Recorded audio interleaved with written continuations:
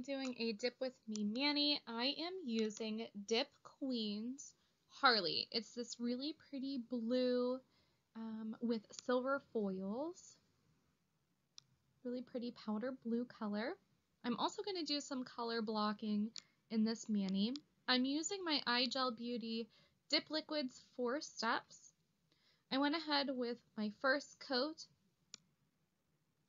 and because I'm using foils and these containers are large enough, I just dipped my finger directly in there. I pressed the foils down with my um, other hand and then I wiped my cuticle with a precision tool around. I went ahead in with my second layer of Harley. I did the same thing, pressing the foils down and cleaning up my cuticle and brushing off the excess after it was dried. So I did two layers. I'm doing my thumb, index, and pinky, and I went ahead, this is my third layer, just because I really wanted some opacity on these.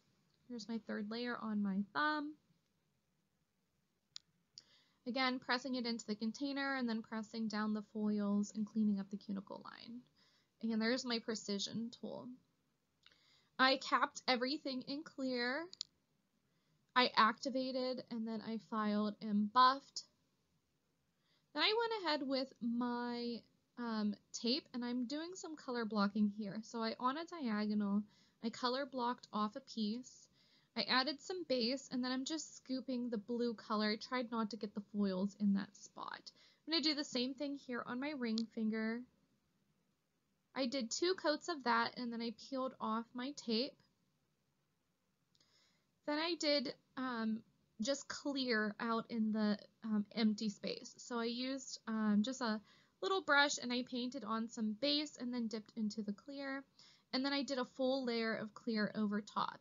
I activated those and I filed and buffed those as well.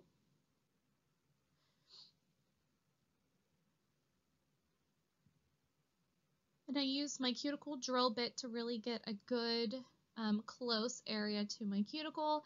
And my MelodySusie bit I used to drop down the ledge um, from my skin to my cuticle so there's not such a drastic lift.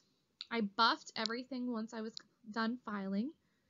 And then I activated again. I applied a line of base coat in between the clear and the color block blue area. And then I just took some of the foils and applied the foils. I ended up using gel top coat for that, so I had a little bit of time to be able to apply the foils because the base would dry too quickly. I did a top coat of gel, I cured for 60 seconds, and then I applied my cuticle oil.